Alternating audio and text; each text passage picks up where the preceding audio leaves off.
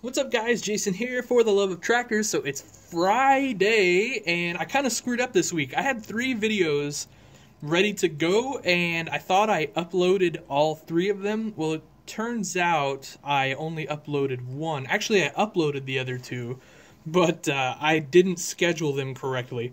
So the other two videos will run next week. So I guess we're a little light on videos this week. I kind of apologize for that, and it kind of sucks for me because it kind of messes up traffic and views and all that stuff, but whatever. I guess none of that stuff really matters, but you know, like it's an ego thing. You want to see your traffic increase. so, all right, I told you guys a while back I was gonna do a review on some Chuck tires, Chuck's tires. So Chucky Stevens, uh, some of you guys may be familiar with him. He writes for the Toy Farmer or has in the past. Uh, he is super well known in the 116th scale world. He is a pretty awesome customizer, to say the least. Um, he's one of those guys where when I'm at St. Louis, I seek him out because I want to see what he's done. Um, and he has decided to dip into the 164 scale market as far as wheels and tires go. And so I did that first wheel and tire video where I looked at Daryl's tires and I looked at Standi tires and I think even a couple CD model offerings. And um, I didn't do Chuck's tires because I didn't have any Chuck's tires at the time. So uh, got together with Chuck, said, "Hey, send me some stuff," and he did. And um, anyway, so here they are. So these are uh, like his planetary which side is the camera on? It's over here. These are some planetary hub rims. I think these are, I believe these are cast. And so these are like a, a plastic, a resin plastic thing. Or they could be 3D printed and I'm an idiot. Probably something I should have known before I did this video, right? Yeah, eh, whatever. so you get the nifty little hole back here. Uh, off the top of my head, I don't even know what size that is. I'm guessing um, 116th or 330 seconds. I don't know. Um, anyway, you get the planetary hub. So you'll paint these up, obviously, and you paint, paint your little paint. You'll paint your little hub, uh, different color, uh, probably blue, because are going to be on a New Holland for me.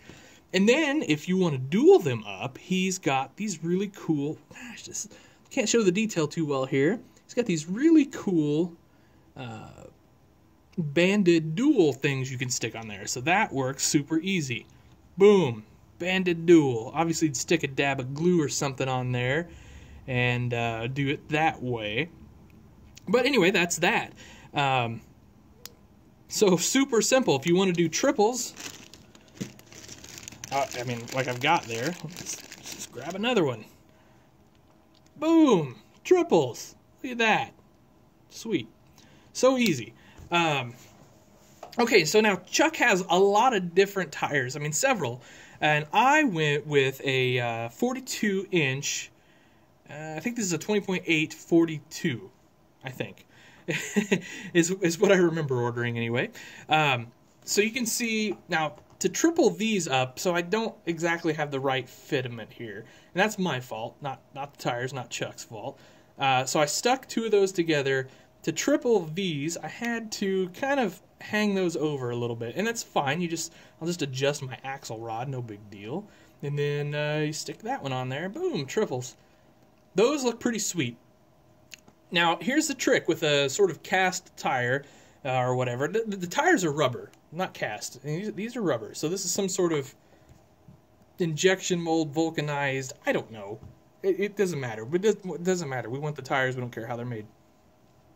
Uh, so there's some cleanup to do here. So I've got to do that a little bit. And I'll be honest, I'm not sure how I'm going to do that just yet. Obviously, you can't get into this with a grinder or anything. You're going to mess up your tire. But these are really nice looking tires.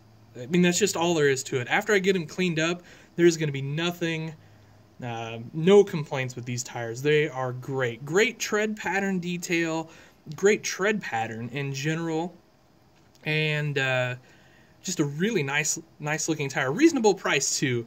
Uh, I think these come in around three bucks a pair, roughly. Um, maybe give or take a little bit there, but very reasonably priced. And then now the next tire I want to show you because these are super cool. Chuck is doing a road worn tire. So check that out. So let's say you got an older tractor, right? You don't want to put like these new, shiny, awesome tires on there. You want it to look like it's an older tractor and it's been used.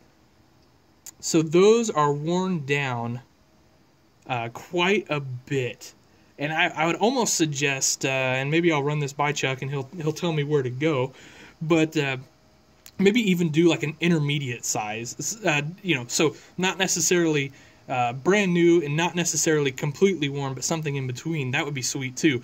But uh, you know, I don't know if that's even possible. But anyway, these road worn tires are really cool, and uh, I'm going to use the daylights out of these in the future for sure. And uh, he just brought out some other versions too of different tires. So anyway, that's it, guys. Real simple video, kind of short and sweet here. And like I said, sorry for the mix-up this week on my part, not getting other videos uploaded.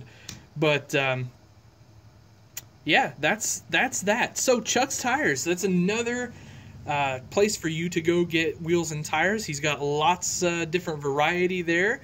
Uh, quality is good, especially if you don't mind doing a little bit of cleanup work yourself on the the tires themselves. Um, price is good. So another outlet. So I, I, had somebody actually ask me. I posted on uh, Instagram about these tires, and somebody asked me if I was going to quit using the other tires that I use. Absolutely not. I mean, it's just this is another tool in your toolbox. Um, these tires, it's just another option, and it's and that's what it's all about. Especially when you're doing custom work, is you want a bunch of options. You want to be able to do a lot of stuff. So that's what we're going to do here. Uh, anyway, hopefully, uh, maybe in a week or two, if I get a little time, uh, if spring slows down for me some, uh, I can get these on a tractor, and we'll see how they look. All right, guys, thanks for watching. I hope you have a wonderful weekend, and as always, happy tractor hunting. Have a good one.